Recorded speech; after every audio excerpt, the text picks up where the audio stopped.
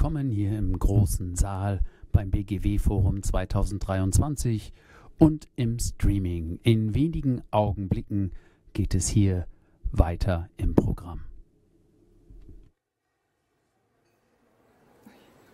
Da vorne sind noch Plätze frei. Trauen Sie sich, damit wir uns hier nicht so verloren vorkommen. Hier nicht so einsam und Sie auch nicht. Ja. Also wir tun in der Regel niemandem was. Sie können auch ruhig noch ein Stück weiter vorkommen.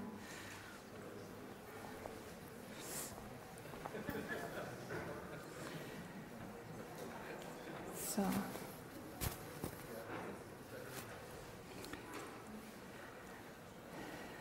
So. Ja, ich denke, wir können beginnen.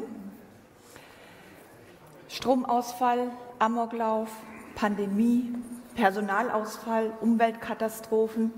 Sie haben erkannt, dass Ihr Haus da noch nicht wirklich ausreichend Vorsorge getroffen hat und Sie möchten sich in diesem Bereich weiterentwickeln.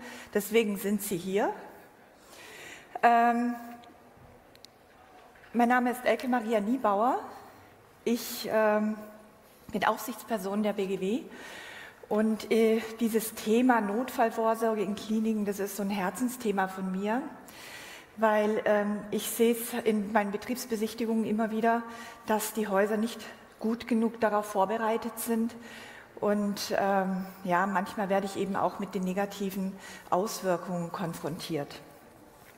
Erstmal ein herzliches Willkommen zu diesen äh, Nachmittagsvorträgen. Es, ich kann Ihnen versprechen, es wird spannend. Wir haben ganz hervorragende Referenten hier und ich bin selber schon ganz gespannt auf das, was uns nun erwartet. Äh, zunächst noch ein paar organisatorische Dinge. Ähm, wir übertragen ja auch im Livestream. Ähm, Im Anschluss der circa 20-minütigen Vorträge werden Sie dann die Gelegenheit haben, ein paar Fragen zu stellen. Bei den Fragen, die über den Online-Stream kommen, unterstützt mich Frau Jutta Hinsch. Ähm, es wird dann auch ein Mikrofon äh, herumgehen und bitte warten Sie mit Ihrer Frage dann auch, bis das Mikrofon äh, Sie erreicht hat und Sie die Möglichkeit haben, dann auch ins Mikrofon zu sprechen, dass wir alle Sie hören. Ähm, die meisten Krankenhäuser wiegen sich ja ähm, in Sicherheit. Ähm, für Notfälle und Krisen äh, gewappnet zu sein. Schließlich verfügen Sie ja über den gesetzlich vorgeschriebenen äh, Krankenhausalarm- und Einsatzplan. Aber mal Hand aufs Herz. Sind Sie sicher, dass in Ihrem Haus wirklich jeder weiß, was er wann, warum, mit wem zu tun haben wird, wenn eine sogenannte kritische Lage sich ereignet? Haben Sie tatsächlich schon mal die verschiedensten Krisen geübt? damit äh, ja, sich auch der hundertseitige Alarm- und Einsatzplan sich auch in der Praxis bewähren konnte. Ähm, auf uns warten nun die spannenden Vorträge, die Ihnen Anregungen geben werden, Ihre Notfallvorsorge nochmal kritisch zu hinterfragen und zu überarbeiten. Den Reigen der Vortragenden führt nun ein ehemaliger Kollege von mir an, Herr Michael Gerhardt war Aufsichtsperson der BGW, äh, heute im Ruhestand äh, oder besser gesagt im Unruhestand zum Glück, denn so können wir ihn heute hier sehr herzlich begrüßen.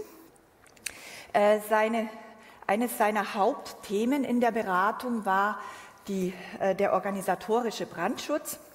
Und er hat schon so vor vielen Jahren damit bekommen, äh, begonnen, Statistiken zu führen über Brandereignisse in Krankenhäusern.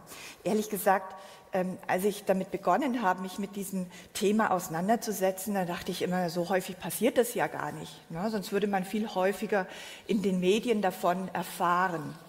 Naja, aber ich denke, Herr Gerhardt wird uns die Augen öffnen. Bitte, Herr Gerhardt, Ihre Bühne.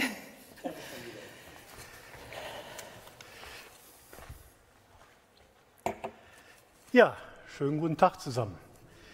Ich will den Reigen eröffnen mit ein bisschen Zahlenmaterial, so ein bisschen Problembewusstsein schaffen, äh, vielleicht ein paar Anregungen, wo, wo Sie vielleicht nach diesem Vortrag, wenn Sie dann wieder an Ihren Standorten sind, vielleicht mal etwas genauer hingucken. Und äh, ich beschäftige mich, wie schon gesagt, schon seit etlichen Jahren mit äh, dem Thema Brandschutz für die BGW, war in diversen Gremien bundesweit mit dem Deutschen Feuerwehrverband, in der, im Dachverband der DGUV und in anderen Gremien. Und seit circa 15, 16 Jahren sammle ich auch, wie schon gesagt, eben Daten zu Brandereignissen. So, jetzt gucken, ob das funktioniert. Jawohl. Und darüber möchte ich Ihnen jetzt heute berichten. Also wir fangen eben mit dem Block Zahlen, Daten, Fakten an und äh, erzähle Ihnen ein bisschen, wie ich das, die ganze Recherche aufbaue, äh, was das an Ergebnissen gebracht hat. Wir machen eine Betrachtung der Ursachen und äh, zum Ende werde ich auch noch darauf eingehen auf Präventionsmaßnahmen, also wo sollen wir in erster Linie ansetzen. Herr Gerhards ja, trägt ein, eine graue Weste, ein hellblaues Hemd und hat eine Halbglatze. Also, wie gesagt, seit ungefähr 15 Jahren äh, mache ich regelmäßige Recherchen im Internet vor allen Dingen ähm, mit einem festgelegten Suchstring. Der ist als Beispiel mal, wie sowas aussieht, äh, dort angezeigt. Dann kommt natürlich Printmedien, äh, TV, wenn da irgendein Ereignis angesprochen wird, dann erfasse ich das auch direkt. Und in meiner aktiven Zeit waren es noch Informationen von den Kollegen, die über Unfallanzeigen auch dann noch das ein oder andere Brandereignis mir lieferten, was es nicht in die Presse geschafft hat. Weil das ist nämlich das Problem, die Datenqualität. Ne? Ich mache mit Sicherheit keine vollständige Erfassung aller Ereignisse. Die Dunkelziffer wird hoch sein. Denn nur das, was in die Medien geschafft hat, kann ich erkennen und, und registrieren. Das ist dann wie beim Eisberg. Ne? Ein kleiner Teil wird nach oben geschwenkt, geschwemmt und der größte Teil bleibt im Verborgenen, weil ja auch die Betroffenen gar nicht interessiert sind, in den Medien zu stehen. Ne? Also die werden nicht freiwillig sagen, hujohu, bei uns hat es gebrannt, sondern die werden sagen, hoffentlich merkt es keiner oder es ist klein genug geblieben. Ne? Vielleicht kommen wir, äh, können wir die Presse raushalten. Ne? Aber, noch einmal zu früh, wichtig ist aber, das, was ich finde, ist aber zumindest schon mal so ein einigermaßen repräsentativer Schnitt äh, des Geschehens und man kann daraus auch schon den einen oder anderen Schluss ziehen. Dafür sind es dann doch genug Ereignisse, die man so findet. Deswegen kommen wir zu Ergebnissen. Erstmal steige ich mal ein. Wie gesagt, ich habe die letzte Recherche habe ich äh, am Sonntag gemacht, diesen Durchlauf. Die tauchen aber jetzt in den Folien nicht mehr auf. Da war Redaktionsschluss so Mitte, Mitte August. Aber einfach mal Beispiele aus Juli, August, also ganz aktuelle Brandereignisse. Was tat sich so? Ne? Patient unter Sauerstoff, Sauerstofftherapie, er hatte halt so eine, so eine Nasenbrille, versucht verbotenerweise zu rauchen. Dabei entzünden sich Kleidung und Bettdecke. Das ist kein Einzelfall, da habe ich mehr, einige von solchen Ereignissen. Oder eben, das ist mehr was für die Techniker, Schwertbrand in der Elektrounterverteilung. Fugenbrand nach Dacharbeiten, auch immer gern genommen. Was dann dazu fügt, dass dann doch etliches, etliche Bereiche evakuiert werden und so weiter. Obwohl der Brand, das Brandereignis gar nicht so dramatisch ist. Oder auch sehr oft zu sehen, Patient setzt Matratze in Brand oder Textilien oder Papierhandtücher. Das, da gibt es x Fälle, dass eben Patienten zum Brandstifter werden. Hier, Patient zündet Bettwäsche und Kleidungsstücke in seinem Zimmer an. Das vergessene Kirschkernkissen der Mikrowelle. was dann irgendwann mal überhitzt und dann zu kokeln anfängt und dann äh, die Station in, unter Rauch setzt. Oder eben ordinär der Brand eines Abfalleimers. Irgendjemand hat da irgendwas Falsches reingeworfen. Das sind einfach ganz aktuelle Ereignisse, willkürlich genommen, außer dass ich versucht habe, hier keine Verdopplungen reinzubringen, weil einige Ereignisse passierten durchaus mehrfach in den, jetzt in den, in den sechs Wochen, die ich dort mal angeschaut habe. Aber das sind eigentlich recht kleine, die ja aber oft eine große Wirkung hatten im, in den, im Folgegeschehen. Ja, von den letzten sechs Wochen gehen wir mal auf die letzten Jahre. Ich habe mal die letzten kompletten fünf Jahre genommen plus den Rest von diesem Jahr. Ne? Also sagen wir mal gut sechseinhalb Jahre. Und in dieser Zeit konnte ich 745 Brandereignisse registrieren. Wenn man es auf gestern liest, sind es jetzt schon vier mehr, aber okay. Das ist jetzt mal die Zahl, die im Raume steht. Und wenn Sie da die Balken sehen, sieht man das, oder ich weiß nicht, ob Sie das so gut lesen können, die Zahlen, das ist eigentlich relativ konstant. Das sind so um die 130 Ereignisse jedes Jahr. Und äh, jetzt aktuell liegen wir jetzt schon bei in der Regel 113. Äh, wir haben aber erst August, Mitte August gehabt, als ich das Bild gezeichnet oder habe zeichnen lassen. Und hochgerechnet würden wir dieses Jahr dann, wenn es linear weitergeht, bei 175 landen. Also dann doch noch mal ein Ausreißer nach oben. Aber überraschenderweise muss ich sagen, die Streuung ist gar nicht so groß. Aber schon eine Menge. Äh, die Zahl, der Ereignisse ist das eine, die Folgen ist das andere. Das Traurige ist, dass eben bei diesen 745 Ereignissen 23 Menschen ihr Leben äh, verloren haben. Allein vier dieses Jahr schon. Es, aus der Berichterstattung konnte ich zusammenzählen, dass 500, knapp 530 Menschen verletzt wurden, zum Teil sehr schwer. Die entstandenen Sachschäden laut Berichterstattung lagen zwischen 200 Euro beim Mülleimer zum Beispiel ne, bis zu dreieinhalb Millionen und in den vergangenen Jahren äh, oder in den Jahren davor gab es auch noch höhere Schäden. Dazu kommen noch für den betroffenen Betrieb Nutzungsausfall, die, die Stationen, auf denen es sich ereignet hat, sind oft für Wochen lahmgelegt. Ne, es müssen Ausweichbetten irgendwo organisiert werden. Ne, der Imageschaden. In diesem Haus ist man nicht sicher. Hier kann man bei einem Brandereignis zu Schaden kommen. Ne, und eben auch die persönliche Betroffenheit der Betroffenen, die hier entweder Angehörige dann als verletzend zu beklagen haben oder eben auch äh, als Todesfall und natürlich das, die Beschäftigten, die das Ganze erleben und für die es auch nicht mit Sicherheit nicht einfach ist, so ein Ereignis zu verdauen, wenn einer ihrer Schutzbefohlenen dabei zu Schaden kommt. Das, das war die traurige Nachricht. Die gute ist jetzt aus Sicht der Berufsgenossenschaft, unter den Verletzten sind relativ wenige Beschäftigte. Die trifft es am, am seltensten. Und wenn, dann in der Regel auch nicht so schwer. Die atmen dann in den meisten Fällen Rauch ein, müssen wir unter Beobachtung in ärztliche Behandlung. Aber es wird, für uns gibt es ja den Begriff meldepflichtiger Unfall und in den seltensten Fällen wird es ein meldepflichtiger Unfall.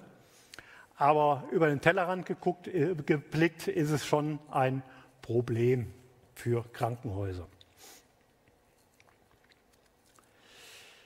Jetzt gehen wir mal auf die Ursachen. Da habe ich nicht alle 753 mir angeguckt, weil ich da die Einzelfälle mir etwas genauer äh, angeschaut habe, sondern da habe ich dann einfach mal gesagt, nehmen wir einfach mal einen Zeitraum von zwei Jahren und äh, da der jetzt gut zu betrachten war, habe ich, hab ich eben gesagt, 1.7.21 bis 30.06.23. Datum ist eigentlich egal, das ist aber jetzt nur meine, meine Stichprobe sozusagen. Und das waren in der Zeit 293 Ereignisse und die verteilen sich auf 161 Ereignisse in Allgemein- und Akutkrankenhäusern, 100 Eins-Ereignisse ereigneten sich in psychiatrischen Kliniken und Suchtkliniken. Reha-Kliniken waren 16 Mal betroffen, sonstige Fachkliniken 13 Mal. Und ich konnte auch nicht immer die Klinik identifizieren und auch deshalb auch nicht sagen, zu welcher Art gehört sie, weil zum Beispiel in der Presse da nur steht, in Ulm in einem Krankenhaus hat es gebrannt und Ulm hat zum Beispiel mehrere Krankenhäuser da. Und da weiß ich dann natürlich nicht wo und kann das dann nicht zuordnen. Oder in Regensburg. Das waren die zwei Fälle, wo ich nicht sagen kann, genau welcher Klinikart das ist. So, erstmal habe ich mir angeguckt, wie ist denn die zeitliche Verteilung. Und äh, da waren 284 Ereignisse auswertbar, da habe ich eine Zeitangabe gehabt oder zumindest äh, die Angabe morgens, mittags, abends, spätabends oder so. Und das verteilt sich eigentlich relativ konstant über, ich sag mal, rund um die Uhr. Das ist also tagsüber genauso häufig wie in der Nacht, wobei man beachten muss, in der Nacht ist die Personaldecke natürlich geringer. Und der Schwerpunkt oder so eine leichte Tendenz geht eben an den Nachmittag und frühen Abend. Ne, also im Zeitraum 14 bis 22 Uhr, da war es dann doch eine häufiger.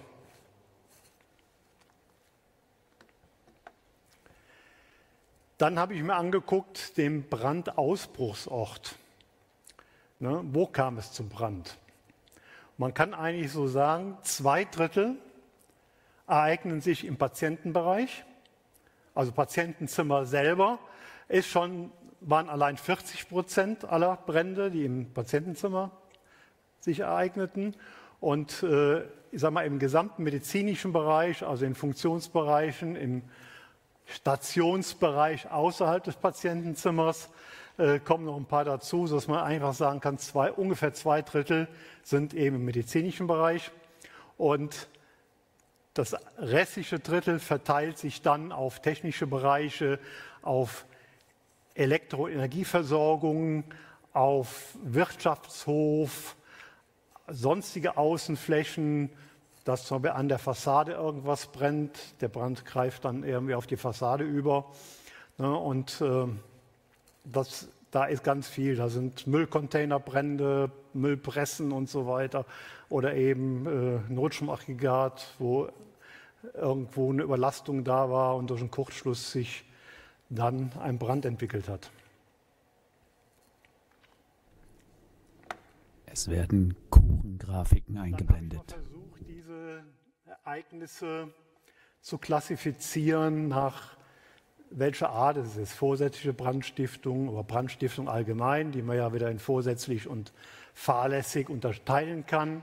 Und eben den klassischen sogenannten technischen äh, Defekt, ähm, der in der Regel ein Versagen eines elektrischen Gerätes, einer elektrischen Installation ist, wo also nicht direkt das Verhalten oder das Handeln einer Person dann äh, dazu geführt hat.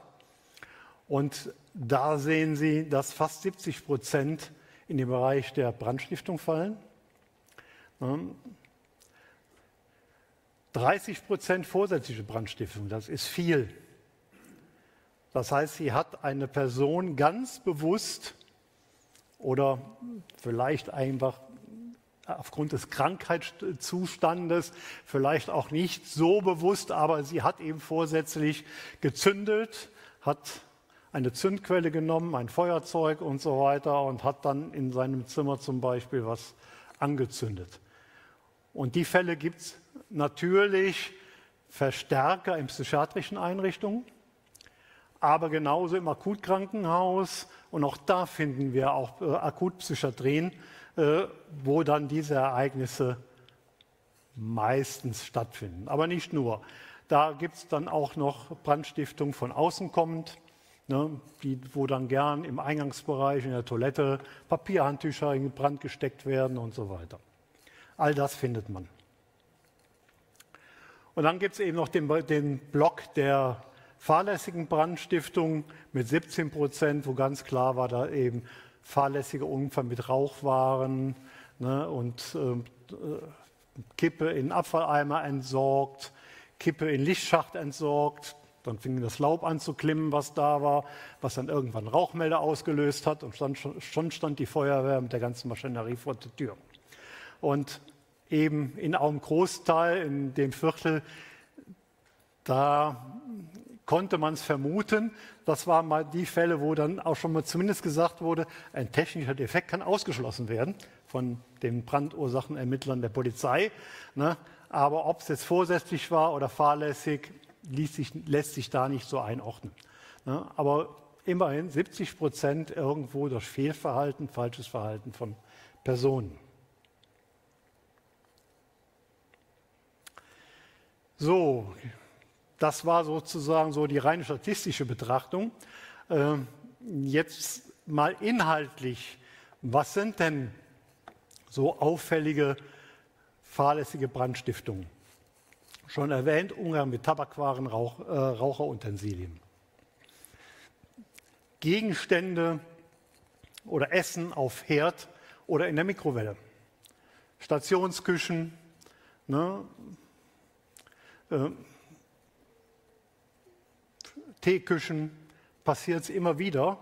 Möglicherweise auch, Schwester wird gerufen, war sich gerade dabei, einen Tee zu kochen, äh, vergisst ihn oder eben vergessene Gegenstände, Plastikteile stehen auf der Herdplatte. In, aus irgendwelchen Gründen wird die eingeschaltet und schon äh, fängt das Ding an zu kokeln und äh, wenn man Glück hat, wird es schnell genug bemerkt. Äh, wenn man Pech hat, äh, gibt es ein größeres Ereignis. Bau- und Dacharbeiten werden auch oft dort angewandt. Das ist eben die Dachdecker, die mit die neue Dachbahnen oben auf dem Dach äh, aufbringen und mit, dem, mit, mit diesen Flemmgeräten dort hantieren, die nicht merken, dass da irgendwo in eben war auch der Dehnfugenbrand erwähnt, da irgendwas in die Dehnfuge gerät oder Flexarbeiten, wo dann Funkenflug irgendwo hingeht und dort eben als Zündquelle wirkt. Dann, das hatte ich eben auch schon erwähnt, dass es mehrfach vorkommt, Rauchen trotz Sauerstoffbrille. Das mal so als Beispiel. Es gibt, gibt natürlich noch ganz viele andere, aber das sind die Sachen, die auch durchaus deutlich mehrfach dann aufgetaucht sind. Im Bereich der vorsätzlichen Brandstiftung haben wir es einmal zu tun mit Patienten, wie schon erwähnt, mit insbesondere die mit psychischen Veränderungen oder die teilweise, um eben vielleicht von der Station runterzukommen, versuchen Brand zu legen und in dem, in dem Getümmel und der Hektik, die dann ausbricht, versuchen, ob von der Station, von der geschlossenen Station dann wegzukommen. Manchmal gelingt es, meistens aber nicht. Ähm, von außen kommende Personen. Aber es gibt auch einige Fälle von Mitarbeitern, die hier aus was für ich für Gründen überführt wurden, hier gezündelt zu haben. Was gern genommen wird bei der ganzen Geschichte, bei der vorsätzlichen Brandstiftung, sind eben Matratzen, Textilien, Gardinen, Möbel, Toilettenpapier, Papierhandtücher. Das sind eben so die klassischen Sachen, die da verwendet werden. Ja, dann haben wir den Bereich der technischen Defekte. Da gibt es Häufungen bei eben klar elektrische und elektronische Geräte, die irgendwo Fehlfunktionen äh, aufzeigen, ein Kurzschluss entsteht äh, und die dann anfangen zu schmoren, zu rauchen und gegebenenfalls auch offenes Feuer verursachen. Wir haben den Bereich eben der elektronischen Bauteile in der Haustechnik, Lüftermotoren, Badlüfter, ne, Trafos, sowohl hier im, in, im Beleuchtungssystem, aber auch die Trafos in der Notstromversorgung und so weiter, die tauchen hier immer wieder mal auf. Dann Elektroinstallation und Kabel. Und ja, soweit damit mal abgeschlossen. Und ähm, meine Erkenntnisse, teilweise schon erwähnt, eben menschliches Fehlverhalten ein, ist großenteils die Ursache. Ne, ähm, aber was auch, was ich jetzt nicht in Zahlen habe, aber das ist einfach mein Eindruck, dass automatische Brandmelder in Verbindung mit beherzt und richtig reagierenden Beschäftigten in ganz, ganz vielen Fällen Personenschäden verhindern konnten und eben auch Sachschaden minimieren. Weil in ganz vielen Berichterstattungen heißt es, als die Feuerwehr eintraf, die wurde durch die Brandmeldanlage alarmiert, ne, hatten couragierte Mitarbeiter den Brand schon durchaus gelöscht und die haben nur noch Nachlöscharbeiten gemacht und so weiter. Und das, äh, wenn man also frühzeitig das Ganze erkennt und richtig reagiert, hat man noch eine Chance, die Folgen dann zu minimieren. Und dann habe ich dann Sachschäden, die sind dann äh, noch im dreistelligen Bereich, 200 Euro, 500 Euro, 1000 Euro vielleicht noch maximal. Aber ansonsten passiert da nicht viel und in der Regel sind die Räumlichkeiten anschließend auch noch nutzbar. Ne? Wenn es dann mehr wird, größer wird, dann eben droht immer der Ausfall des gesamten Bereiches. Und eben die Reduzierung der Rauchausbreitung ist eben ein ganz wesentlicher Erfolgsfaktor für die Reduzierung von Personen- und Sachschäden ne, weil eben auch der größte Teil der Ereignisse auf einen Raum begrenzt ist. Und wenn man es schafft, den Rauch in diesem Raum zu halten oder dass er nur minimal austritt, dann äh, haben Sie auch die Chance, auch viele andere Personen vor, vor Körperschäden und so weiter zu schützen. Ja, nochmal Blick auf die Präventionsmaßnahmen.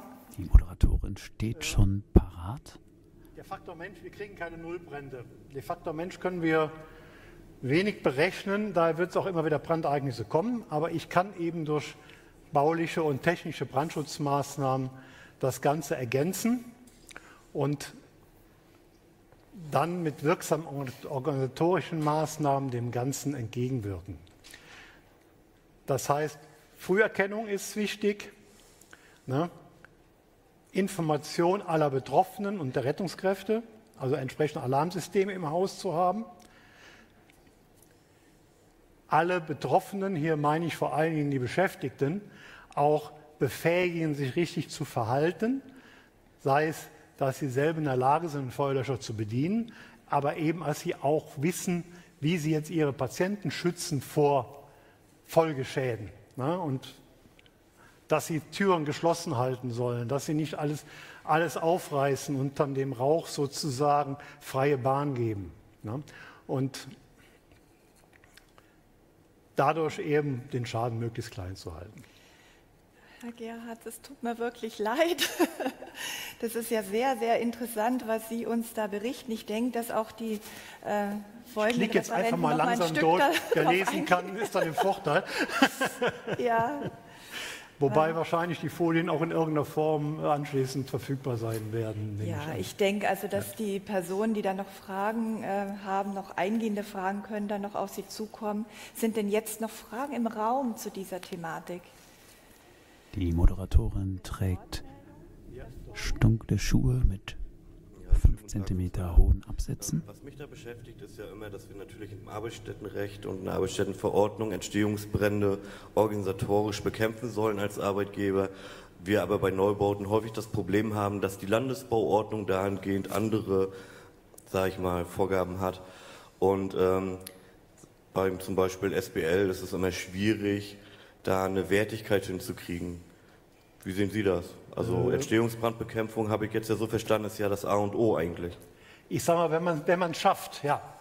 Also wenn man früh genug da ist, deshalb ist am wichtigsten die, die Branderkennung, ne, dass man eben entsprechende technisch gesehen, wenn man die entsprechende Brandmeldeanlage hat, das entsprechende Alarmierungssystem im Hause, dass dann die Betroffenen vor Ort das auch mitbekommen.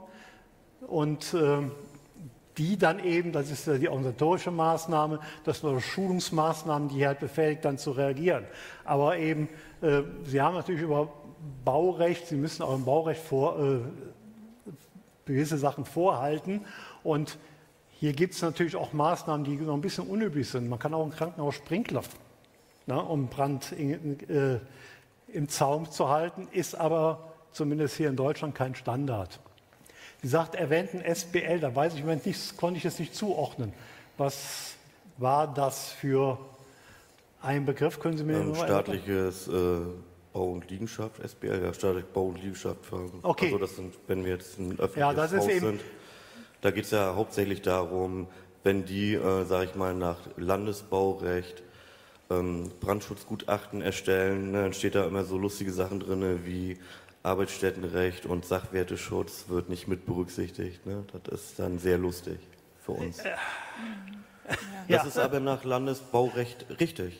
Ja, ja, weil Sie sind für den baulichen Brandschutz zuständig ne, und eben, äh, sag mal, die ganzen organisatorischen Faktor äh, gehört nicht dazu. Das ist Standard im Sonderbaurecht. Das ist äh, Krankenhäuser sind Sonderbauten ähm, und die gibt Bundesländer, die haben ja ein spezielles Krankenhausbaurecht, andere haben das nicht. Dann sind es eben Einzelfallentscheidungen der Baubehörde. Und äh, die sagen natürlich ganz klar, wir kümmern uns nur um, das, um, um den baulichen Faktor. Und das muss sichergestellt werden, dass äh, Leute das Haus verlassen können rechtzeitig und dass die Feuerwehr reinkommt. Das ist deren, deren Sichtweise. Und das andere muss drumherum organisiert werden. Aber eigentlich ist es das Brandschutzkonzept, was eben intelligent die bauliche, das Baurecht oder die baulichen Maßnahmen, die man trifft, die technischen Maßnahmen, also Brandmeldeanlagen, Löschanlagen und so weiter, was es da noch so gibt, ne, und dann den organisatorischen Faktor zusammenbringt. Das ist eigentlich das A und O, was sein muss. Ähm, Sie haben recht, die Behörde sagt einfach, das ist nicht unsere Baustelle, aber es ist an sich inzwischen Standard, dass ein Fachplaner ein Brandschutzkonzept mit bei der Beantragung des Bauvorhabens mit einreicht. Und da kenne ich doch viele Fachplaner, die dieses, diese drei Teile oder Bestandteile des Brandschutzes auch mitdenken und hier zumindest Empfehlungen geben, auch wenn sie baurechtlich hier keine verbindlichen Vorgaben machen können. Aber sie schreiben doch meistens Empfehlungen rein. Deswegen wäre es ja auch so wichtig, dass man bei der Planung schon äh, die Berufsgenossenschaft durchaus auch mit mal ähm, ins Boot holt oder zumindest auch die Fachkraft für Arbeitssicherheit, dass da einfach der Arbeitsschutz auch vertreten ist. Weil das, ich komme immer wieder in Häuser, wo einfach die Maumaßnahme schon dem Ende zugeht und ich dann sage, äh, die Räume, die passen so nicht, ne? die entsprechen nicht der Arbeitsstättenverordnung.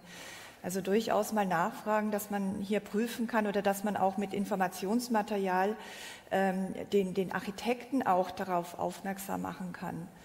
Na, das wäre auch ganz wichtig, weil die haben per se nicht den Arbeitsschutz im, im Blick. Na. Wichtig ist, dass Sie als Auftraggeber äh, wissen müssen, was können Sie fordern oder was sollen Sie fordern. Na, der Architekt macht das, was ihm gefällt, aber Sie haben halt noch andere Ansprüche so, vielleicht noch eine andere Frage. wir Gibt's haben im Online haben wir noch eine Frage. Also. Frau Hinsch.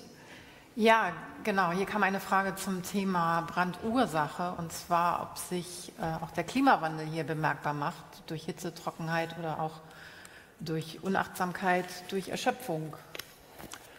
Kann ich nicht so aus den Daten oder dem, was ich so da zur Verfügung habe, rauslesen. Gut, also ich denke, Herr Gerhard, äh, Sie haben Ihre Kontaktdaten auf den Schirm, weil äh, wir müssen jetzt leider ein bisschen Gas geben. Wir haben auch noch zwei andere Referenten, die ihr Wissen an den Mann bringen möchten. Vielen Dank, Herr Gerhard, ja. für den sehr, sehr interessanten. Also mir haben Sie die Augen geöffnet. Ich bin schon sehr beeindruckt, was denn alles passiert, von dem wir gar nichts wissen. Na, das ist schon äh, beeindruckend. Also es äh, lohnt sich schon tatsächlich auch ein großes Augenmerk auf den Brandschutz zu legen. Ja, Brandschutz, eigentlich ist das eine gute Überleitung. Haben, wir, haben Sie sich denn schon mal Gedanken gemacht, wenn was sie tun würden oder was ihre Kollegen tun würden, wenn im Operationsbereich ein Feuer ausbricht? Grauenvolle Vorstellung, wie ich finde. Ne? Ähm, der nächste Referent, Herr Dietzer, wird uns nun in seinem Vortrag Patientensicherheit bei Brandereignissen OP von seinen Erfahrungen darüber berichten. Herr, äh, Dietzer hat Einblick von mehreren Seiten in dieses Geschehen. Äh, zum einen ist er Anästhesist, er ist aber auch ähm, im Sanitätsdienst im Einsatz gewesen, er ist bei der Freiwilligen Feuerwehr, ähm, er, ist, äh, er, hält Fachvorträge zu den Themen der Brand- äh, und Katastrophenschutzorganisation und heute ist er als Brandschutzbeauftragter und Krisenmanager im Universitätsklinikum Würzburg beschäftigt. Herr Dietzer, ich bin ganz gespannt, was Sie uns zu sagen haben. Ja, vielen Dank erstmal.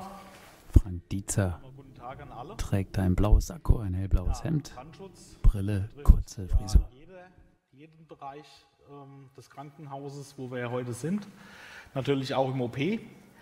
Nur mal die Rahmenbedingungen. Wir haben vielleicht in uns, wir haben ein kleines Haus, wir sind das Universitätsklinikum Würzburg. Äh, von den Rahmen haben wir das Krankenhaus der Maximalversorgung, haben im Moment 1469 Betten, 69.000 ähm, voll- und teilstationäre Patienten bei uns liegen.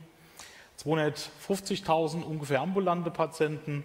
Wir haben 7.400 Direktmitarbeiter des Uniklinikums Würzburg und haben einen sogenannten UKW-Service. Also das ist alles, wo zum Beispiel auch Patienten von den Stationen in den OP bringt, wo Essensverteilung macht und so weiter. Also roundabout 10.000 Mitarbeiter. Wir sind aufgeteilt in einer Größenordnung von 30.000 Quadratmeter mit 42 Häusern. 33 zentral, drei dezentral und zusätzlich noch verschiedene Bereiche wie Apotheken, ähm, die jetzt hier nicht mal in die Zahlen fallen. Wir haben insgesamt 36 OPs, das Ganze auf fünf Häuser aufgeteilt und äh, dementsprechend kann man sich denken, bei uns passiert auch ab und zu was. Also aktuell heute hatten wir zwei Brandalarme, ähm, 26 Zentrale, wie gesagt, das Rest alles dezentral, also in einzelnen Gebäudebereichen. Ja, unser Campus, wie gesagt, erstreckt sich über die halbe Stadt und dementsprechend natürlich auch für uns im Bereich des Brandschutzes äh, nicht ganz so einfach, weil wir können es halt nicht verteilen. Im Moment sind wir eineinhalb Kräfte, äh, sollte ausreichen, also im Moment eine. Gut, kommen wir mal zu Brandereignissen im OP. Jeder kennt die Situation, wir haben einen Brandalarm. Ähm, ich hoffe, es kennt niemand die Situation. Ich hatte es einmal leider persönlich erleben müssen, dass wir einen Meldeeinlauf in einem OP hatten. Ja, dann war die Feuerwehr in voller Montur im OP gestanden beim Fehlalarm. Und das ist genau der Punkt, wo ich gesagt habe, hier springe ich heute mal ein, dass sowas nicht passiert, beziehungsweise vielleicht eventuell äh, entsprechend zu vermeiden sein könnte. Wichtig ist natürlich der Brandschutz. Also auch wir im Bereich des Brandschutzes müssen schon in der Planung entsprechend mit dabei sein. Äh, wir kennen das, wir haben es vorhin gehört, das staatliche Bauamt. Wir haben auch so ein Ding. Ähm, Mindestausstattung ist bei denen das Übliche, außer man überzeugt sie irgendwie, ähm, dass natürlich sehr schwierig ist. Aber die Bauplanung, wenn der Brandschutz integriert ist, ganz, ganz wichtig. Gebe ich vollkommen recht. Ne? Ähm, wichtig natürlich auch im Betrieb bereits ähm, Ansprechpartner im OP definieren. Die ganzen Ansprechpartner auch müssen natürlich alarmierbar sein. Wir kennen es heute in vielen Häusern, ähm, dass leider die stille Alarmierung bevorzugt wird, entweder durch Pager-Systeme, Telefonsysteme oder ähnliches. Verschiedene Schlüsselbereiche wird es auch in OP werden teilweise vergessen. Wir selbst festgestellt, auch wir sind nicht unfehlbar natürlich. Äh, wir hatten auch letztens ein Brandereignis in unserer sogenannten Kopfklinik. Ja, da ist leider im Alarmsystem der Sterri vergessen worden. Auch das natürlich kann man beseitigen, ganz klar. Hier einfach ein paar Empfehlungen. Wie gesagt, Gesetze kann man natürlich nicht aussprechen, das machen die Länder. Ähm, und dementsprechend ähm, Kennzeichnungswesten ganz wichtig. Viele kennen es auch in diesem Katastrophenbereich, üblicherweise MANF, dass man hier verschiedene Kennzeichnungswesten hat. Das kann ich auch nur empfehlen für ein OP. Entsprechend auch als Gegenpart die Feuerwehr mit einbinden, dass die auch wissen, was die rote Weste da macht. Ähm, und natürlich die Erreichbarkeit für anrückende Kräfte definieren jede Feuerwehr hat einen Alarm- und Einsatzplan auch von dem Haus und auch wenn da steht zum Beispiel Brand im OP, stehen da entsprechend Weisungen drauf, die dann auch von der Feuerwehr selber ähm, mit entsprechend berücksichtigt werden müssen. Wichtig ist natürlich auch im Vorfeld, wie gesagt, die spezielle Situation ansprechen. Ähm, und hier bin ich immer für die Prävention, als dann später im Nachgang sich zu beschweren, warum die Feuerwehr im OP steht. Den Brandschutzbeauftragten natürlich, sobald er hauptberuflich auch im Haus unterwegs ist, ähm, natürlich mit einbinden. Kleinere Häuser ist oft die Technik mit eingebunden in den Brandschutz äh, oder es gibt externe Brandschutzbeauftragte. Da muss man natürlich klären, wie das vertraglich aussieht, ähm, ob da auch eine Möglichkeit besteht, dass der entsprechend auch da äh, zum Einsatz kommt, wenn was ist.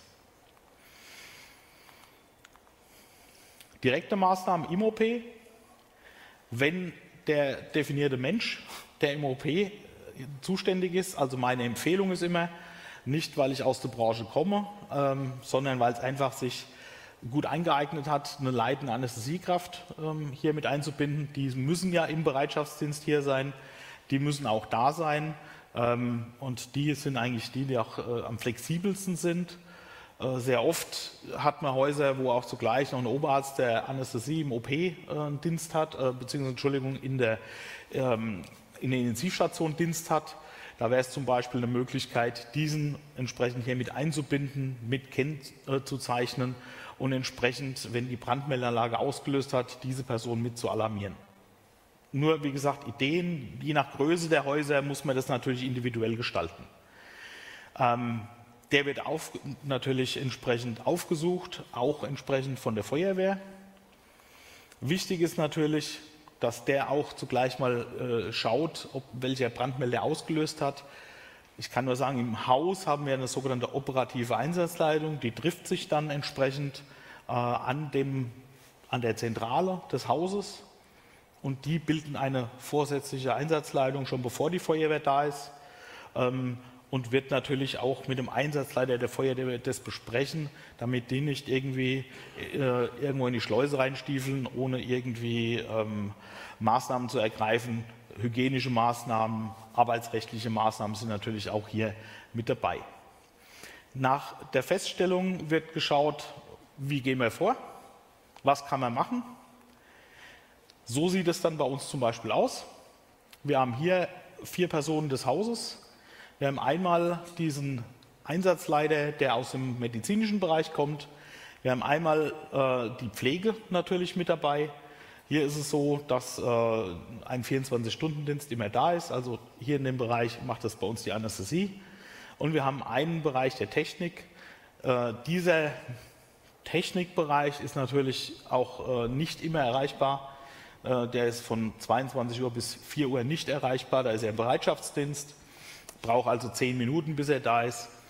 Und die Logistik ganz wichtig, äh, auch für den Transport, äh, damit hier auch entsprechend Maßnahmen ergriffen werden können. Vier Personen von hinten mit unterschiedlichen Westen plus der Einsatzleiter der Feuerwehr im Bild. Wir haben eine Fehlauslösung, da gehen wir das mal als Beispiel an. Die anrückende Feuerwehr äh, soll natürlich in, in dem Bereich geleitet werden und nicht selber dahin stiefeln. Möglichst hygienisch, das heißt, im Vorfeld mit denen auch wirklich mal das Durchgehen mit den Einsatzleitern, mit den Führungskräften von dort, wirklich auch mal sagen, so, einer geht mit, der kriegt einen Überkittel an äh, und rennt nicht mehr der vollen Montur rein. Wenn wir schon im Vorfeld geprüft haben, der Rauchmelder, der blinkt mich freundlich an, das war's aber dann. Ja? Wichtig natürlich, den Bereich trotzdem abriegeln, auch die hygienische Sicht wieder betrachten, wenn das geht. Ich weiß, es gibt Häuser, die natürlich deutlich weniger OPs haben. Wenn man halt nur zwei OPs hat, dann kann man nicht einen davon abriegeln meistens. Ähm, bei uns kann man halt einen Riegel zumachen und dann haben wir halt noch zwölf weitere OPs. Dann geht es schon einfacher. Den Betreiber natürlich entsprechend ähm, informieren von der Brandmeldeanlage selbst, dass die die auch entsprechend fern zurückstellen können. Haben wir ein tatsächliches Ereignis, da wird es schon ein bisschen schwieriger. Wir haben Patienten, die noch nicht in Narkose sind, wir haben Patienten, die schon narkotisiert sind, um halt Patienten, die entsprechend schon aufgeschnitten sind oder gerade am Zumachen. Und da wird es natürlich dann besonders schwierig. Organisierende Ärzte entsprechend, die muss man informieren. Also haustypisch haben wir zum Beispiel einen organisierenden Chirurgen. Chirurgen haben so eine kleine Eigenschaft, die wollen immer operieren, egal ob es brennt oder nicht. Die muss man halt erstmal überzeugen, dass es unterbrechen. Das ist eine schwierige Sache, kann ich gleich sagen. Entscheidung, wo ist der kritische Bereich jetzt? Kann ich weiter operieren? Kann ich es nicht? Viele technische Probleme. Ähm, es gibt OPs, wo man einzeln entsprechend die Lüftung abschalten kann. Äh, fatal ist es natürlich, wenn es komplett in Stränge ist. Der erste Strang haben wir ein Brandereignis, im letzten Strang kommt entsprechend Rauch raus. Dann habe ich immer ein kritisches Ereignis. Noch nicht narkotisierte Patienten, die sollte man rein Empfehlung in den Aufwachraum ausschleusen oder direkt ausschleusen, wenn sie überhaupt noch nicht prämediziert sind. Patienten natürlich ohne Vollnarkose in den Aufwachraum, also wir gehen von einer Teilnarkose, Spinalanästhesie aus und Patienten, die noch nicht die OP begonnen hat, auch hier möglichst ausschleusen, ansonsten mit Beatmungsmöglichkeiten auch entsprechend Aufwachraum. Begonnene OPs natürlich, je nachdem, wie weit die OP schon fortgeschritten ist, ähm, entweder sofort abbrechen als Notfallabbruch. Gibt Möglichkeiten, wie zum Beispiel, wenn man einen offenen Bauch hat, dass man den trotzdem abdecken, verschließen, möglichst steril verschließen kann natürlich und den Patient dann anschließend auf eine Intensivstation verlegen, was aber im Vorfeld alles geplant sein muss. Das sind auch nur Tipps, je nachdem, wie gesagt, was wir für Ressourcen bei uns in den einzelnen Häusern haben. Die Intensivstation muss natürlich informiert sein. Ähm, da reden wir wie ein Massenanfall von Verletzten, dass wir eine Trennung machen, sofortige Verlegung von Patienten, die nicht unbedingt auf Intensiv müssen oder vielleicht in den nächsten Stunden sowieso verlegt werden, wäre natürlich hier das Optimum, wenn man es machen könnte. Und ansonsten natürlich bestellte Patienten, die zum OP kommen, entweder abbestellen oder halt in der Schleuse zurückschicken. Sind natürlich nur wenige Maßnahmen aufgrund der Zeit, die wir hier natürlich ansprechen können. Ähm, für mich, wie gesagt, ganz wichtig, Schwierigkeiten, die wir dabei haben, müssen wir natürlich berücksichtigen, wie was ich schon gesagt habe, dass natürlich jeder seine Arbeit fertig machen möchte. Ähm, die nächste Schwierigkeit natürlich, dass es auch Feuerwehren gibt, keine Frage, die sich nicht unbedingt an diese Anordnungen halten. Da muss man gucken, wie man das vielleicht räumlich regelt, bevor wir neu bauen. Ähm, oder was man vielleicht organisatorisch ändern kann. Ähm, zum Beispiel Schleusen, die nur mit entsprechenden äh, äh, Tastenkombinationen aufgehen, wo die Feuerwehr keinen Schlüssel hat. Äh, ich weiß, es gibt immer Schwierigkeiten bei der Feuerwehr, die wollen überall rein, das ist mir schon klar. Ähm, gibt also Möglichkeiten schon, auch rechtlich, damit man sagt, wenn Fehlalarm ist, steht nicht alles im OP drin. Wie gesagt, ich habe es einmal erlebt, muss nie mehr sein. Natürlich sind Maßnahmen sehr schwer durchzusetzen, was ich gerade gesagt habe. Ähm, Personen natürlich ähm, äh, brauchen auch die Weisungsbefugnis gegenüber jedem und allem, auch der Feuerwehr in dem Fall. Ähm, und den, dementsprechend äh, muss man weit im Vorfeld schon gucken, bevor es passiert ist, was können wir machen.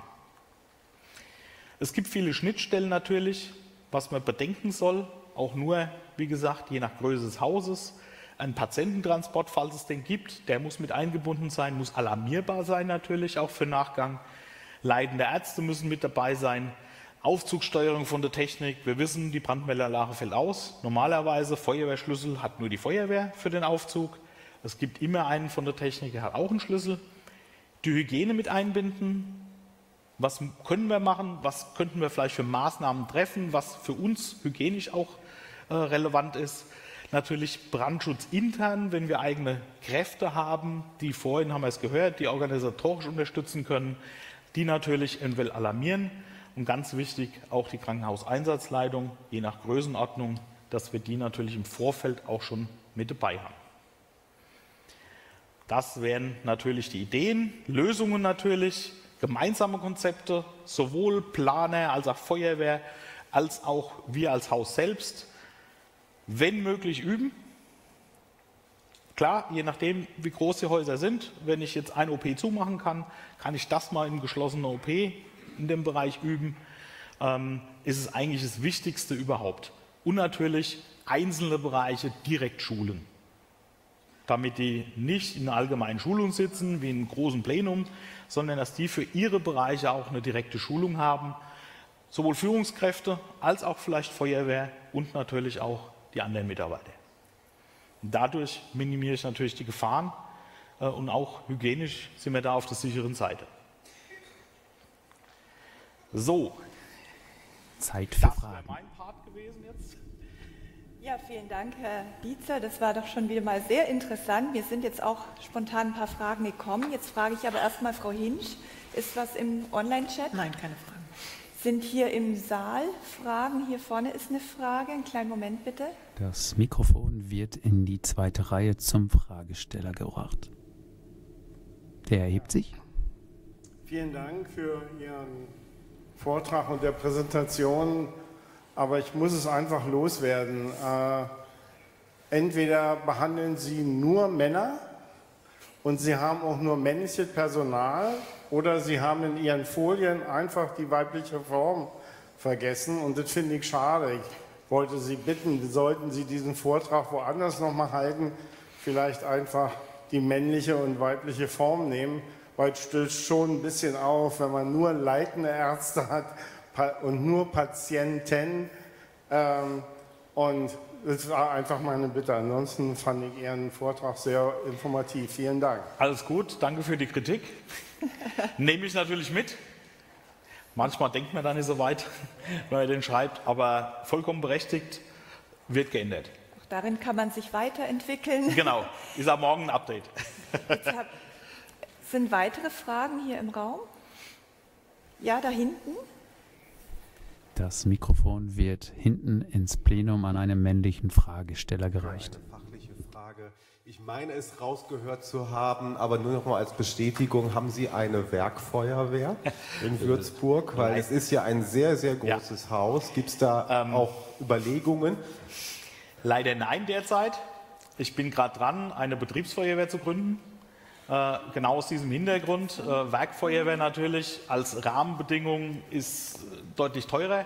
Aufgrund der Lage des Hauses, wir haben wie gesagt patientenführende Häuser, sind es 32, äh, würden wir das so gestalten, wir hätten praktisch ein Führungsfahrzeug, hätten in den einzelnen Bereichen Personal, was Rollcontainer hat, die entsprechend mit Aufzügen, mit Sonderfunktion dann entsprechend auch an, das Schaden, an den Schadenort kommen, Atemschutz, alles drauf weil so wie eine Werkfeuerwehr ist ja vorgeschrieben, auch mit Fahrzeugen, das ist bei uns natürlich im Campus ähm, relativ uninteressant.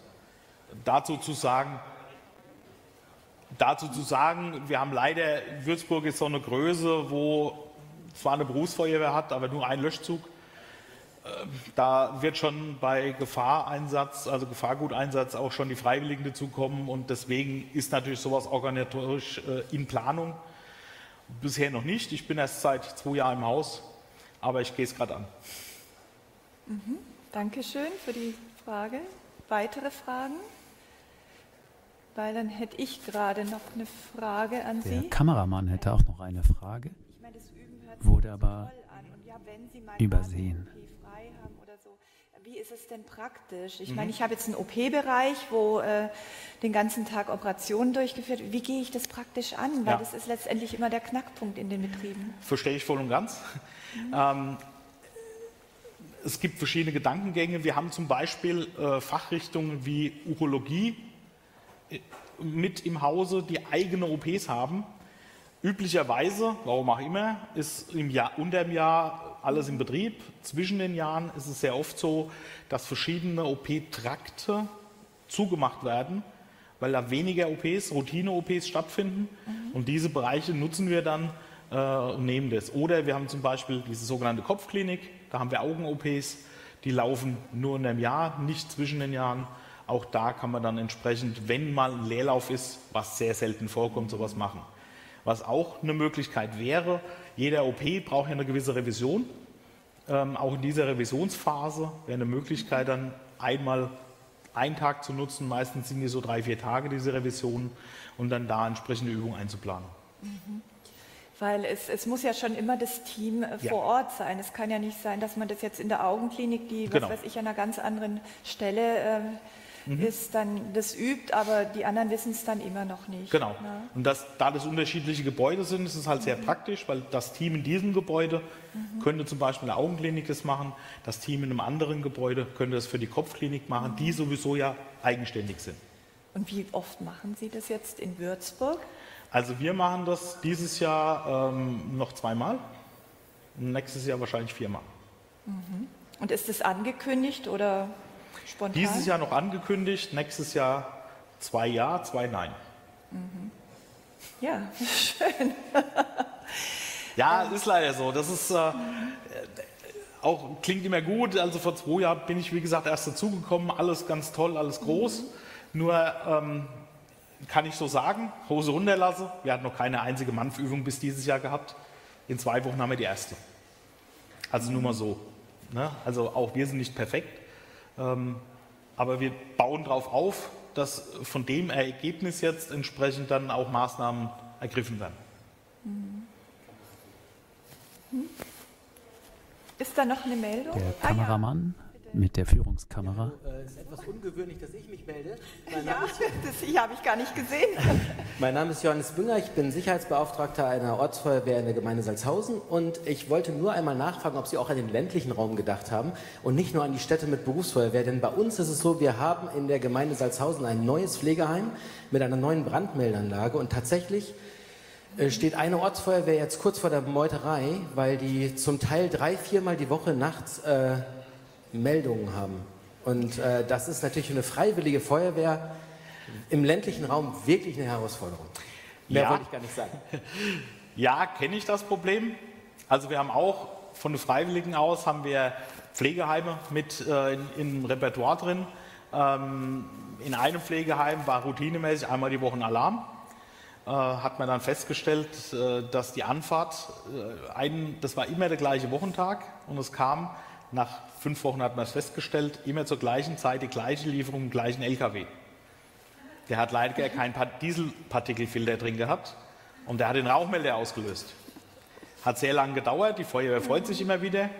Ähm, haben wir auch soweit auch jetzt schon dran gedacht. Also wir haben auch deswegen von, von der Standortgröße her ab einem Zug werden die Freiwilligen mit alarmiert. Da muss man immer sagen, auch da sind Führungskräfte dabei, die sind nicht jeden Tag in der Uni. Äh, und da gucken wir auch, dass wir viermal im Jahr für die prinzipiell eine Veranstaltung betreiben, vor Ort neue Bauten angucken, dass auch die Freiwilligen prinzipiell hier mit integriert sind. Kann ich auch, wie gesagt, nur den Heimen empfehlen, dass die von vornherein auch hier mal positiv sind. Ja, ja, ich verstehe es, ja, ja. Ja, da war noch eine Frage. Ach so, okay. Ja gut, prima. Wenn keine Fragen mehr sind, Herr Dietzer, ich danke Ihnen ganz, ganz herzlich. Sehr gerne. Wer sich mit dem Thema noch etwas näher befassen möchte, Sie haben, glaube ich, morgen auch einen Workshop, ist das richtig? Genau, also morgen zu dem Thema haben wir einen Workshop. Wer mal Chirurg spielen will, kommt morgen vorbei. und, Wer es ist, natürlich gerne auch. Und was, was kann man da erwarten, wenn man Sie Also morgen ist der Plan, dass wir mal so ein bisschen auch in die Praxis wirklich reingehen, ähm, dass verschiedene Positionen vergeben werden, wo man auch die Möglichkeit hat, wie plane ich etwas, ja, wenn was passiert ist, äh, nicht schon im Vorfeld, mhm. das geht natürlich in der Zeit auch nicht, mhm. aber was kann ich machen, wenn muss ich informieren, ähm, einfach mal so Schnittstellenübungen mhm. äh, machen damit man da mal auch die Leute zusammenbringt oder vielleicht mal Ideen einfach von außen kommen, wo wir auch gern mitnehmen oder wo ich gern mitnehme äh, und wir uns da austauschen können, wie kann man sowas wirklich ein Schadensereignis planen. Ja, prima. Also nicht planen, sondern abwehren. Also da bin ich schon ganz gespannt. Ich bin dabei. Vielen Dank, Herr Gerne. Dietzer. Dankeschön. Frank Dietzer setzt sich wieder an den Tisch und der neue Referent steht auf. Vorstellen zu dürfen, das ist Herr Professor Rechenbach. Er muss sich jetzt wirklich spitz, äh, spicken, weil ich, äh, er war schon in so vielen Themen äh, befasst in seinem beruflichen Leben. Äh, Gefahrenabwehr, Führungsorganisation, Kommunikations- und Datensysteme in der Gefahrenabwehr, Bevölkerungs- und Katastrophenschutz, CBRN-Protektion äh, sind nur einige davon. Und ähm, in diesen Themen ist er Fachexperte und er war diesbezüglich sogar schon für die Vereinten Nationen im Einsatz. Ähm, Professor Rechenbach ist auch Mitglied äh, der Deutschen Arbeitsgemeinschaft für Krankenhauseinsatzplanung, wie übrigens die anderen Referenten auch. Nur hier erwähne ich das explizit noch. Ähm, weil mir das jetzt noch eingefallen ist, dass ich diese DARCAP, also Deutsche Arbeitsgemeinschaft für Krankenhauseinsatzplanung, auch noch mal erwähnen möchte. Die hat zusammen mit dem Bundesamt für Bevölkerungsschutz und Katastrophenhilfe das Handbuch CAP entwickelt. Ähm, und das sei an dieser Stelle noch mal erwähnt. Ähm, ich kann das nur empfehlen, ähm, auf dieser Homepage der DARCAP mal äh, sich über dieses Thema äh, näher zu informieren. Ähm, Herr Professor äh, Rechenbach ist also Fachmann für kritische Lagen. Also er weiß, was man tun muss, wenn sie denn auftreten. Er weiß aber natürlich auch, wie man Vorsorge trifft, damit die Auswirkungen einer kritischen Lage nicht so gravierend sind. Ähm, Sie, äh, ich glaube, Sie erläutern auch so die praktischen Herangehensweisen ein bisschen, wie man äh, an eine Notfallvorsorgeplanung herantritt, wenn man sich damit noch nicht eingehend befasst hat. Ich bin jedenfalls gespannt auf Ihren Vortrag. Herr Professor Rechenbach, bitte schön. Ja, herzlichen Dank für die freundliche Einführung. Meine verehrten Zuhörerinnen und Zuhörer, Sie sind in der Freien und Hansestadt Hamburg. Der eine oder andere ist nicht Hamburger. Ich bin ein hamburgisches Urgestein. Und bevor ich Ihnen fachliche Dinge erläutere, möchte ich darauf hinweisen, dass die heute einführenden Erläuterungen Sie motivieren möchten, morgen zum Workshop zu kommen. Denn die Zeit heute ist sehr eng und sehr knapp. Aber da Sie nun zufälligerweise aus vielerlei Gründen, guten Gründen Hamburg besuchen, gestatten Sie mir zwei, drei wichtige Elemente. Der Hamburger sagt zur Begrüßung Moin. Was heißt das? Das ist eine rund um die Uhr gültige Begrüßungsformel, die zum Ausdruck bringt, dass man sich sehr freut sie zu treffen und dass man ihnen für den Rest des Tages gutes Gelingen und insbesondere Erfolg wünscht. Es ist also eine umfassende Formulierung in einer Kurzform. Der eine oder andere von Ihnen hat aber auch gehört, dass dann jemand sagt, moin, moin. Das sind Schnaggers was im Klartext heißt, die reden zu viel. Das ist dem Hamburger fremd. Moin muss genügen. Eine zweite Sache möchte ich auch Ihnen ans Herz legen. Genießen Sie die Stadt. Vielleicht sind Sie eigentlich viel zu kurz hier. Hamburg ist keine Residenzstadt. Wir haben keine große Kirche, wir haben ein paar schöne Kirchen, aber keine so riesige, wie andere Städte sie haben. Wir haben auch kein Schloss oder irgendwelche Residenzen von Grafen, Fürsten oder sonst irgendetwas. Wir sind eine Kaufmannsstadt und wir leben davon, Umsatz zu machen und ein Teil des Umsatzes bleibt. Den sacken wir ein. Und deswegen kann man Hamburg nicht besichtigen. Sie können Hamburg erleben. Da brauchen Sie drei Wochen. Weniger hat keinen Wert. Aber wenn Sie die drei Wochen hier sind und Hamburg genießen, dann suchen Sie sich auch hier die Arbeit. Also insofern empfehle ich Ihnen durchaus, einfach mal Hamburg zu genießen. Und der eine oder andere von Ihnen mag aus Bayern kommen, aus dem Freistaat Bayern. Und da möchte ich auch noch einen abschließenden Hinweis geben. Hamburger waren nie Preußen, sind nie Preußen gewesen und werden auch nie Preußen sein. So viel dazu. Wir sind nordisch by nature, aber wir sind keine Preußen, um das nochmal sehr deutlich zu machen. Und wenn die bayerische Redewendung kommt, Sapres, dann sind wir nicht gemeint, um das klarzustellen. Notfallvorsorge im Krankenhaus erfordert Planung, kontinuierliche Fortschreibung und Training. Meine beiden Vorredner haben diesbezüglich einige Ausführungen gemacht. Ich möchte aber gerade die letzte Diskussion, die durch eine Fragestellung aus dem Blickwinkel einer freiwilligen Feuerwehr gekommen ist, dass man ja genervt ist, wenn man mehrfach in der Nacht geweckt wird um irgendwo eine Fehlauslösung einer Brandmeldeanlage zu besichtigen. Das Gemeinderecht lässt in allen Ländern zu, dass Gebühren im Satzungsrecht der Gemeinde erhoben werden können. Und die Freie und Hansestadt Hamburg hat vor über 20 Jahren Fehlalarmierung durch Brandmeldeanlagen gebührenpflichtig gemacht. Und damit ist die Zahl der Fehlalarmierung erstaunlich zurückgegangen. Wir tolerieren sogar eine Fehlalarmierung einmal im Jahr sozusagen, damit die Einsatzkräfte wissen, wie der Weg dahin geht und wo die Zentrale ist und wie die Laufzettel laufen. Das kann man auch machen. Aber wenn es mehr als einmal im Jahr ist, dann wird's, kostet Geld. Und äh, mit Geld kann man vieles regeln. Also da sind wir Hamburger ganz schlau. Ja? Also wir sind eine Kaufmannsstadt. Gut, zurück zur Natur. Wir haben in den beiden vorangegangenen Vorträgen relativ viel über Brandereignisse bekommen. Vergessen Sie jetzt einfach mal Brandereignisse oder sagen wir, das ist ein Teil einer Krise. Nehmen wir also erst einmal eine große schwarze Kiste. Und in dieser Kiste sind Krisen. Und wenn Sie den Deckel dieser Kiste aufmachen, dann öffnen Sie die, die Pandora. Ja, dann geht's los. Also wir wollen nicht in die Statistik eingehen, die über die Google-Suche aus den verschiedenen Medienberichten rekrutiert wird. Wir wollen bestenfalls eine Randnotiz auf Seite 3 sein.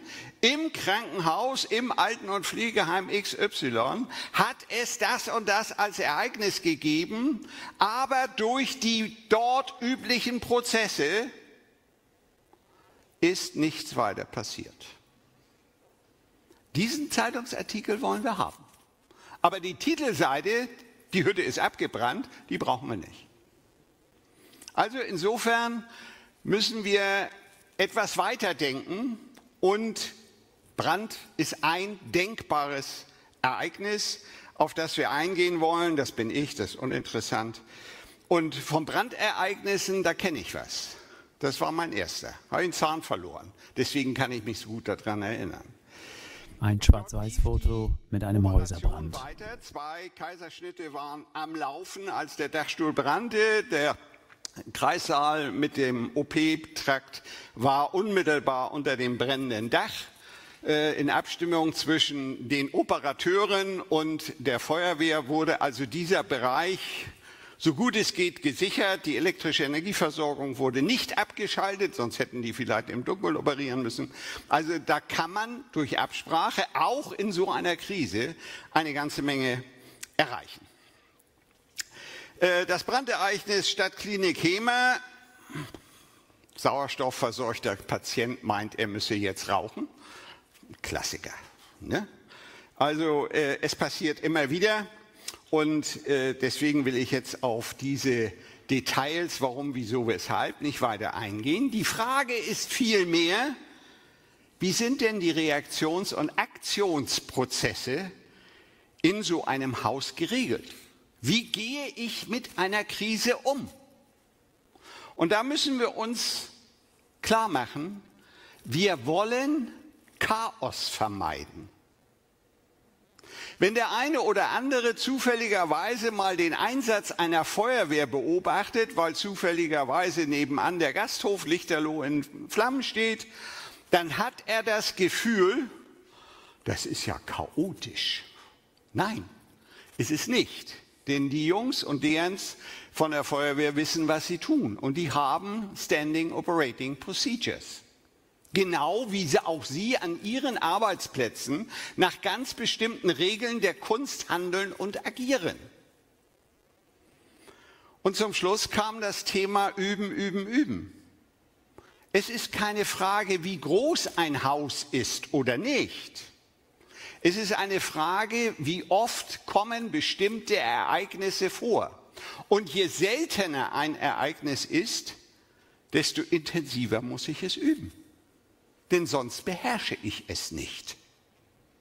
Das, was ich täglich mache, da muss ich nur gucken, ob ich nicht inzwischen betriebsblind geworden bin.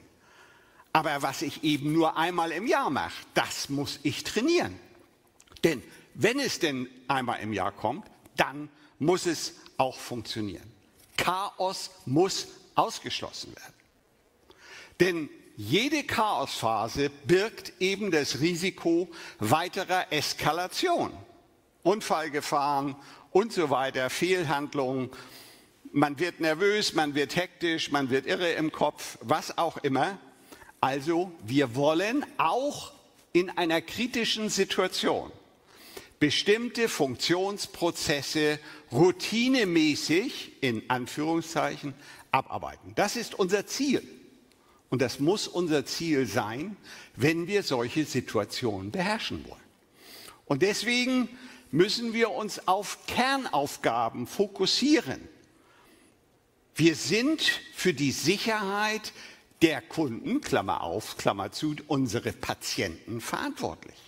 Wir haben aber nicht nur Patienten im Haus, sondern wir haben natürlich auch die Mitarbeiterinnen und Mitarbeiter im Haus aus allen Fachbereichen. Wir haben Besucherinnen und Besucher im Haus, vielleicht sogar Kinder, die einen Klassenkameraden besuchen. Wir haben Fremdfirmen im Haus, die irgendwas instand setzen, reparieren. Und wir haben natürlich unsere Haustechnik von Küche über Wäscherei bis hin zu den handwerklichen Leistungen. All diese Menschen sind von einer kritischen Situation betroffen.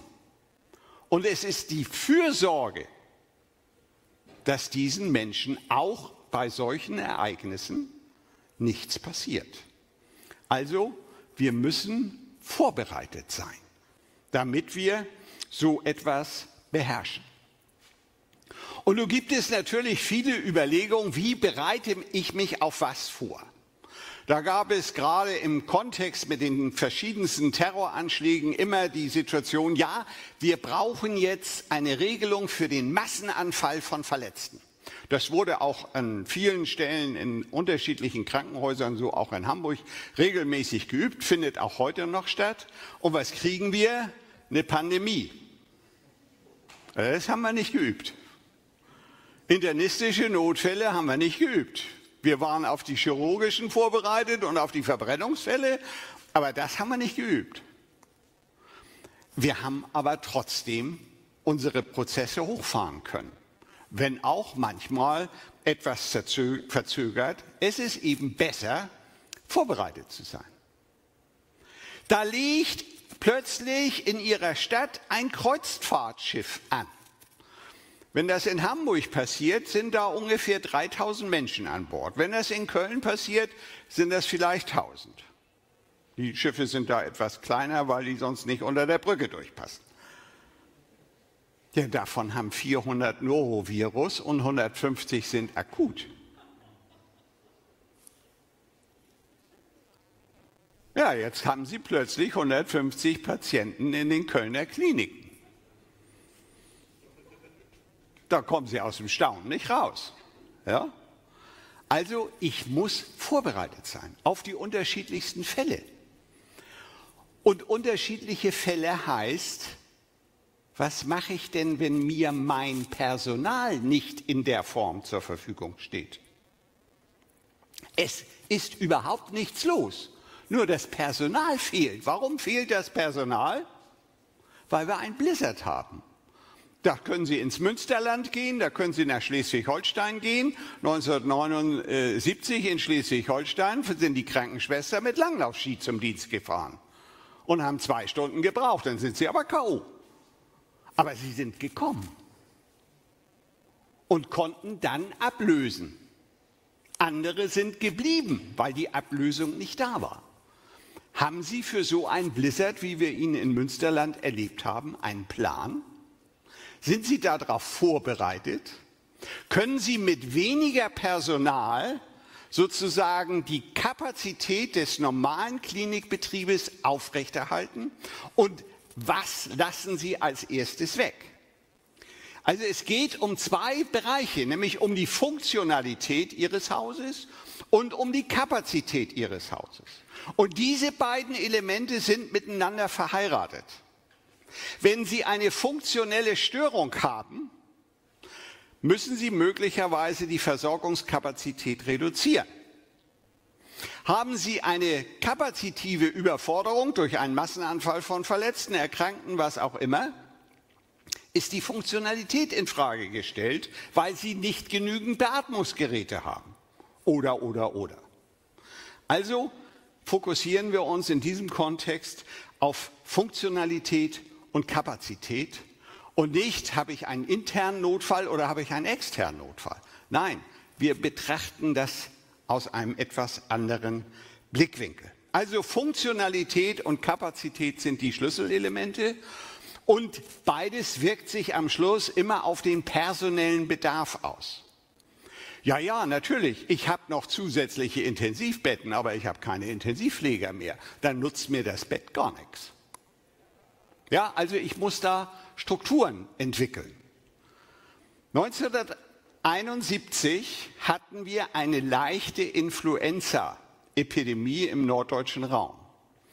Mit der Folge, dass eine hohe Zahl der Krankenhausbediensteten Grippe hatten. Maßnahme, ungefähr 200 Einsatzkräfte der Freiwilligen Feuerwehren sind in die Krankenhäuser eingerückt und haben auf Station Hilfsdienste gemacht. Das waren damals Jungs, die mit der Bratpfanne über Station gelaufen sind. Entlastung des vorhandenen Personals. Oder sozusagen Entlastung von einfachen Arbeiten, die man relativ schnell Menschen beibringen kann, um die Fachkräfte frei zu bekommen für spezielle Aufgaben. Also Sie sehen, wenn ich einen Plan habe, kann ich ganz bestimmte Maßnahmen ergreifen. Und Plan heißt, ich muss auf bestimmte Dinge vorbereitet sein. Nun sage ich Ihnen als alter Krisenmanager, so blöd können Sie gar nicht denken, wie es Ihnen passieren kann. Sie brauchen also Überlegungen, wie bereite ich mich auf die unterschiedlichsten Varianten vor. Und ich habe Ihnen hier mal einige kleine Beispiele mitgebracht, die mal so ein bisschen ein Stück weit Bandbreite beleuchten. Der Klassiker, der Patient zündet das Krankenhaus an. In diesem Fall so schräg, da kommen Sie vorher nicht drauf, dass das ein denkbarer Fall wäre. Ja? Also sein Kumpel bringt Ihnen einen Benzinkanister mit, der äh, geht auf den Flur, schüttet sich voll Benzin, zündet sich auf dem Flur an, rennt brennend in sein Patientenzimmer und verbrennt dort. Das, der Brand in dem Patientenzimmer ist so heftig, dass es aus dem Fenster wie aus einer Lötlampe rauskommt und gleich ein Geschoss höher in das nächste Patientenzimmer hineingeht. Das ist der Zustand, als die Feuerwehr um die Ecke kommt. Ja? Da haben Sie als Einsatzleiter der Feuerwehr Schweißausbrüche auf der Stirn. Trotzdem, durch gute Vorbereitung wurde auch dieser Fall ohne weitere menschliche Opfer gemeistert. Vorbereitet sein. Vorbereitet heißt aber auch, ist meine Technik intakt? Wirbelsturm über Hamburg schmeißt zwei Kräne um und der Wind weht ein komplettes Dach eines Schuppens weg. Das sind so Metallblechplatten von acht Meter Länge. Und was macht er mit diesen äh, Platten? Die hängt er auf die Hochspannungsleitung, wie auf eine Wäschenleine. Und die Folge ist logischerweise, Dunkeltuten, ne? Licht geht aus. So auch in den Krankenhäusern. Natürlich haben Krankenhäuser Ersatzstromanlagen, die springen auch an. Das eine Krankenhaus hat eine Ersatzstromanlage, konnten sie noch den halben Stadtteil mit versorgen. Eine beleuchtete Insel. Nichts war dort passiert. Das Ding brummte vor sich hin, auf allen Stationen brannte das Licht, alle Funktionalitäten waren gewährleistet. Im Nachbarkrankenhaus war diese Anlage Jahre kaum gepflegt worden. Sie war inzwischen so klein, dass sie nur 50 Prozent des Krankenhauses versorgen konnte und nach einer Stunde hat sie dicke Backen gemacht. Dann stehen Sie im Dunkeln. Jetzt können Sie gleich die Frage diskutieren, ja, wollen wir jetzt das Krankenhaus evakuieren oder lassen wir das? Sie können aber auch viel einfacher an die Sache rangehen und sagen, hm, die Nachtschwester soll in das Patientenzimmer 17 kommen. Warum? Da liegt der Patient in seinem Bett und sagt, gucken Sie mal, es tropft direkt von der Decke in mein Bett. Und zwar heftig. Die Bettdecke ist schon klatschnass. Was macht die Nachtschwester jetzt? Gibt es einen Plan? Wen ruft sie an? Weiß sie, wo der Haupthahn ist, um das zuzudrehen? Lässt sie dann so lange die Patienten ihrer Station alleine, bis sie irgendwo den Schlüssel gefunden hat, in den Keller gelaufen ist, den Haupthahn zugedreht hat? Oder weiß sie jemanden, den sie anrufen kann, der nachts logischerweise nicht abnimmt, weil sein Handy im Wohnzimmer unterm Fernseher liegt und er schnarchenderweise im Bett? Also, es gibt viele Varianten, die wir in diesem Kontext besprechen müssen, um vorbereitet zu sein, um eine Chaosphase auszuschließen, um Unfallgefahren zu vermeiden. Und wie das dann in so einem Krankenhaus bei einem Starkregenereignis aussieht, habe ich Ihnen mal als Bild aus Münster mitgebracht. Ist das gefährlich? Ein Flur steht unter Wasser. Ist die Funktionalität gegeben? Fünf Zentimeter Höhe läuft es in die Steckdose. Dann hüpfen sie aber über den Flur. Was ist das? Spannende Frage. Wo ist das? Es sieht aus wie in einem Kriegsgebiet. Um? Sind Sie betroffen? Sind Sie nicht betroffen? Das ist ein Fünf-Minuten-Ereignis eines Wirbelsturms, einer Windhose über Pforzheim. Zerstörte Häuser, Autos, umgestürzte Bäume. Also wir müssen in Wechselbeziehung setzen, wie ist meine Funktionalität, wie ist meine Kapazität, welche Wirkungen und welche Konsequenzen ergeben sich aus einer Störung, aus einem Gefahrenzustand und wie gehen die Menschen damit um. Dafür brauche ich einen Plan. Und dieser Plan muss alle irgendwie umfassen. Ich muss also auch alle beteiligen. Ich muss auch den Dienstleister beteiligen. In Eschweiler ist das Krankenhaus voll Wasser gelaufen bei dem Starkregenereignis 1921. Nee, nicht 1921, 2021. Ich bin zu alt. Ein Patient hat den Pizzaboten bestellt und hat sich Pizza bringen lassen. Der Pizzabote ist hüfttief durchs Wasser gelaufen, um seinen Auftrag zu erfüllen. Ja, das müssen Sie sich mal vorstellen. Hätten Sie das auch gemacht? Pizzaboten sind die Rettung der Nation. Also, wir müssen hier an die Pläne ran. Und wir brauchen Motivation. Wenn Sie Pläne machen wollen, die all diese Varianten von potenziellen Störungen, Krisen bearbeiten, dann muss sich dort jemand drum kümmern. Sie brauchen ein Krisenmanagement-Team. Und dieses Team muss aus allen Bereichen rekrutiert werden. Da muss man nicht einen hauptamtlichen Krisenmanager beschäftigen. Da muss man auch keinen externen Gutachter beauftragen, der all diese Arbeit macht. Denn dann müssen alle diese Arbeit lesen. Sie brauchen hier aus dem Inneren heraus ein Team, die den Laden kennen und die wissen, was geht und wie sich das mit dem täglichen Betrieb verheiraten lässt. Und der Chef muss deutlich machen, dass er das will. Wenn irgendeiner sagt, wir brauchen einen Krisenplan, ja, ja, das, das kann ja der Müller machen. Nie. Der Chef muss es wollen. Und der Chef muss sich einbringen und der Chef muss sich beteiligen. Denn sonst läuft es immer auf der Vertreter vom Vertreter vom Vertreter. Und dann funktioniert es am Schluss nicht. Und Sie müssen alle beteiligen, und das haben meine Vorredner auch schon deutlich gemacht, Sie müssen Lösungen finden, die von den Akteuren umsetzbar sind, die sie verstehen. Nicht theoretisch, wenn das und das, dann müssen sie und überhaupt.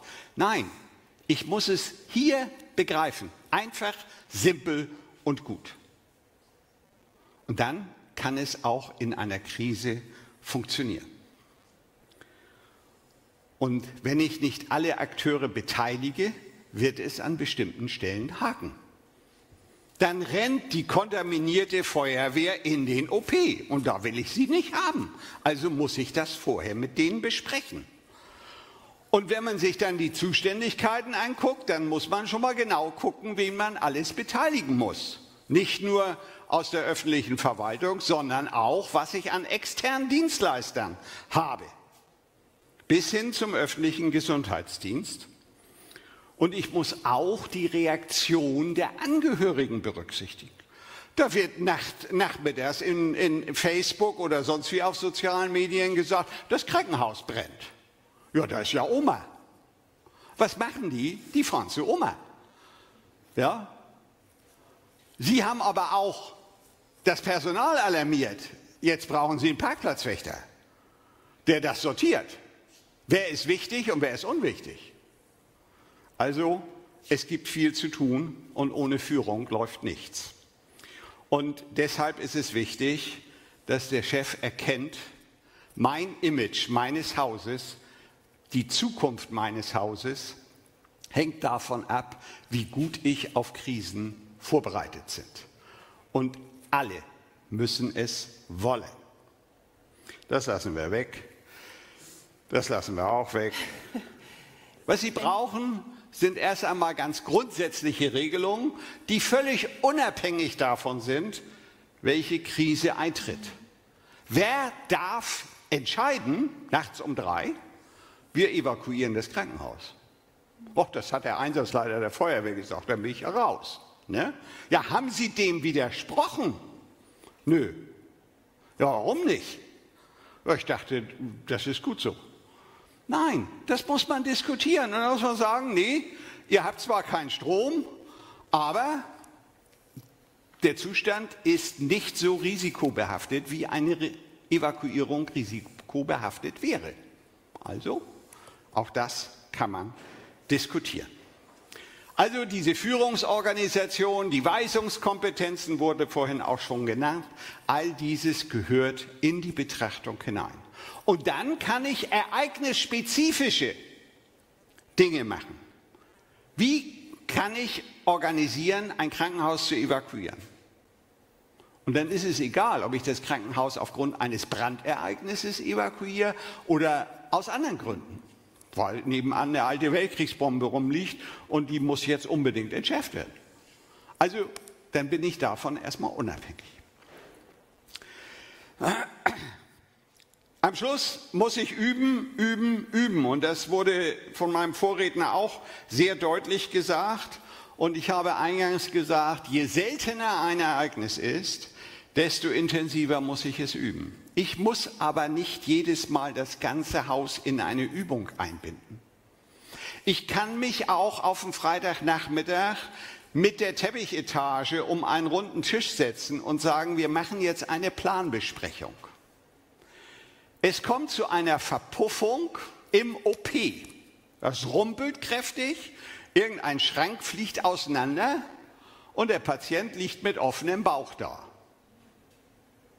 Was machen wir denn jetzt? Das muss ich jetzt nicht mit einem offenen Bauch üben. Das kann ich erstmal besprechen. Ja? Sie machen einfach ein Bild von so einem offenen Bauch und sagen Ihnen, Jungs, Derns, So ist die Situation. 13.24 Uhr, offener Bauch. OP darf und kann nicht fortgesetzt werden. Wie geht ihr weiter vor? Und das kann ich besprechen. Und wenn ich dann noch Kaffee und Kuchen serviere, ja, und anschließend grill, dann nehmen die auch alle teil. Dann gehen die auch hochmotiviert wieder weg. Ich muss die Leute auch bei solchen Übungen motivieren, begeistert an der Übung teilzunehmen. Warum? Dann sagen sie mir auch, was an den Prozessen, die ich hinterlegt habe, noch verbessert werden kann. Motivation ist das Stichwort. Alle weiteren Details, wie wir zum Beispiel in solchen Situationen das Fenster nicht unbedingt öffnen sollten, ein Bild mit einer Wassersäule vor dem Wohnzimmerfenster. Diskutieren, wenn wir im Workshop zusammen sind. Es gibt nicht nur ein Handbuch des Bundesamtes für Bevölkerungsschutz und Katastrophenhilfe, es gibt auch eins von den Kollegen Scholtes-Wurm und mir. Auch da können Sie viele, viele Hinweise zu der Gestaltung eines Krankenhausalarmplans finden. Sie können das auch anschließend zertifizieren lassen.